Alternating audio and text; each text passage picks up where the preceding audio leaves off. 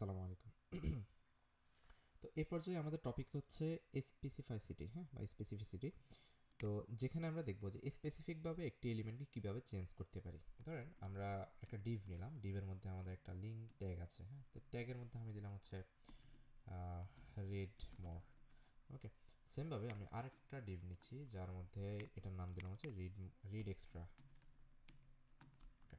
তো আমি চাচ্ছি এই দুটোকে একটা বাটন স্টাইলে একটা বাটন তৈরি করতে হ্যাঁ? তো যেটা আমরা বলছিলাম যে আমরা কী করব? প্রতিটা ব্লককে ধরেন আমরা একটা আইডি নেব হ্যাঁ? যেটা দিলাম হচ্ছে টপ আর এটা দিলাম হচ্ছে বটম ঠিক আর এই, এইগুলোর মধ্যে আমরা একটা ক্লাস দিয়ে দিচ্ছি। দিলাম ক্লাস ক্লাস দিলাম হচ্ছে, এটা কমন ক্লাস দিচ্ছি, দিলাম যে বাটন হ্যাঁ? এটা একটা বাটন আর এটার ক্লাসে দিলাম বাটন হ্যাঁ? তো যেহেতু বাটনের কোনো সিএসএস করা নেই, সেটা পাবে না। তো আমি দিলাম ডট বাটন এটা কি হবে? এটাকে প্রথমে ইউজ করতে হবে ডিআইবি হ্যাঁ? ডিসপ্লে ইনলাইন ব্লক তো এটা হচ্ছে সব বাট যে কোনো ইনলাইন বাটনে সিএসএস করার সময় ইনলাইন ব্লকটা করে নিতে হয়। নাহলে হচ্ছে মানে প্রয়োজন অনুসারে হয়তো আপনার ব্লক করা লাগতে পারে, নয়তো ইনলাইন ব্লক করা লাগতে পারে।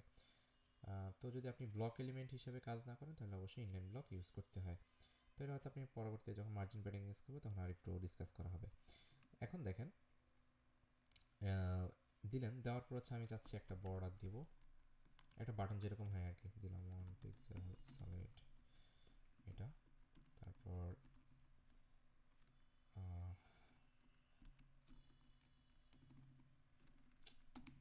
কালার হোয়াইট করে দেন।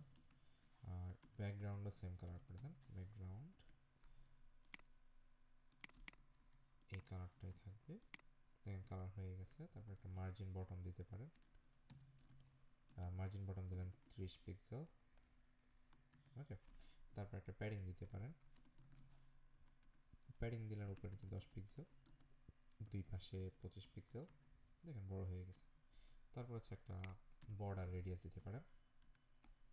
ফাইভ পিক্সেল তো ধরেন একটা বাটন হলো হ্যাঁ? কিন্তু আমরা চাচ্ছি কি, ধরেন টপে যে বাটনটা আছে টপের বাটনের কালারটা চেঞ্জ হবে। আবার বটমে যে কালারটা আছে, বাটনটা আছে, তার কালারটাও চেঞ্জ হবে। তো এখন তো আমরা স্পেসিফাই করতে পারতেছি না যে আসলে বটমের বাটন কোনটা আর টপের বাটন কোনটা। আমার কাছে মনে হচ্ছে দুইটাই সেম বাটন। হয়তো ডিজাইন আপনার জন্য ঠিক আছে বাট আপনি তো এইচটিএমএল দেখে বুঝতেছেন যে হ্যাঁ টপের মধ্যে একটা বাটন আছে, বটমের মধ্যে একটা বাটন আছে। তো আমি সিলেক্ট করে কীভাবে এটাকে স্পেসিফাই করে চেঞ্জ করতে পারি? তো যেহেতু আমার টপ হচ্ছে কি, একটা আইডি আমাকে হ্যাশ দিয়ে নিতে হবে। দেন হচ্ছে আমার বাটন নিতে হবে। টপের মধ্যে বাটন হ্যাঁ? এখন আমি যদি চেঞ্জ করি, টপের মধ্যে যে বাটন আছে, তার কালার হয়ে যাবে, ধরেন হচ্ছে এটা।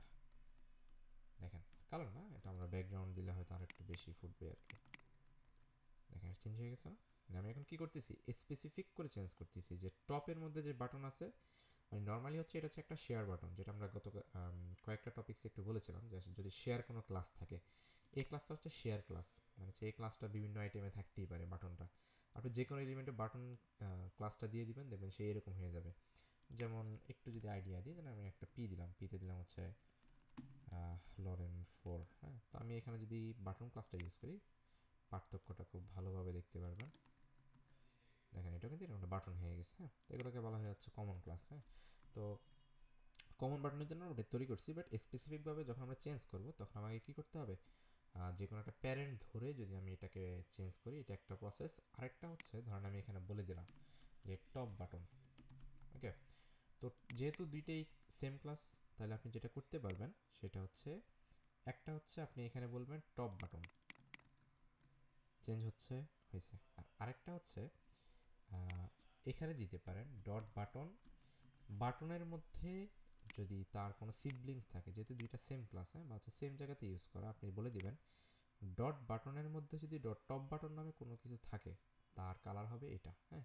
তো সেমভাবে মানে এটাকে আমরা তিনভাবে কিন্তু দেখছি অলরেডি হ্যাঁ। একটা হচ্ছে হয় আইডি দিয়ে প্যারেন্ট থেকে এলিমেন্ট সিলেক্ট করতে পারেন নয়তো সেম এলিমেন্টের মধ্যে কয়েকটা ক্লাস মানে একটা আরেকটা হেল্পার ক্লাস বা যেটাকে বলা হয় হচ্ছে সিবলিং ক্লাস নিয়ে কী করতে পারেন? আপনি কাজটা করতে পারেন। তো এখনও এটাও আছে হ্যাঁ ধরেন আপনি এখানে যদি দেন যে ডট বটম বাটন হ্যাঁ? তো বটম বাটনে কী করবেন? বটম বাটনে ধরেন হচ্ছে আপনি কালার চেঞ্জ করে এটা ব্ল্যাক করে দেবেন হ্যাঁ? তো বটম বাটনে কী হবে? বটন বাটনে হবে হচ্ছে কালার ব্ল্যাক কালার ব্ল্যাক হয়ে গেছে তো এটা হচ্ছে কি, আমি স্পেসিফিক করে চেঞ্জ করতেছি স্পেসিফিক আপনি স্পেসিফিকটা আপনি কয়েকভাবে করতে পারেন। একটা হচ্ছে একটা হেল্পার ক্লাস নিয়ে, একটা হচ্ছে প্যারেন্ট ধরে এলিমেন্ট সিলেক্ট করার মাধ্যমে। আর আরেকটা হচ্ছে ওই এলিমেন্টেরই যেটা মেইন ক্লাস কারণ বাটনটা হচ্ছে এখানে মেইন ক্লাস বা হচ্ছে কমন ক্লাস ওই কমন ক্লাসের সাথে আরেকটা ক্লাসকে আপনি অ্যাটাচ করে দিতে পারেন ওকে মানে একটা হচ্ছে এটা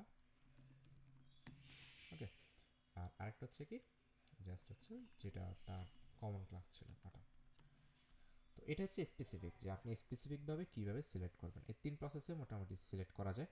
আপনারা চাইলে এটা করতে পারেন এছাড়া হচ্ছে যদি আইডি ইউজ করেন, তো আইডি ইউজের অলরেডি ইয়েটা দেখছেন যে যখন আমি কি করি আইডি ইউজ করি, তখন ক্লাসটা অটোমেটিক এমনিতেই চলে যায়। বাট পরবর্তীতে আপনার চেঞ্জ করা লাগতেই পারে হ্যাঁ?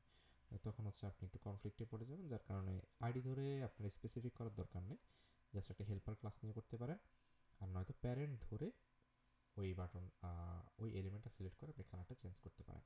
ওকে তো প্র্যাকটিস করবেন বেশি বেশি, একটু বোঝার চেষ্টা করবেন। আসসালামু আলাইকুম।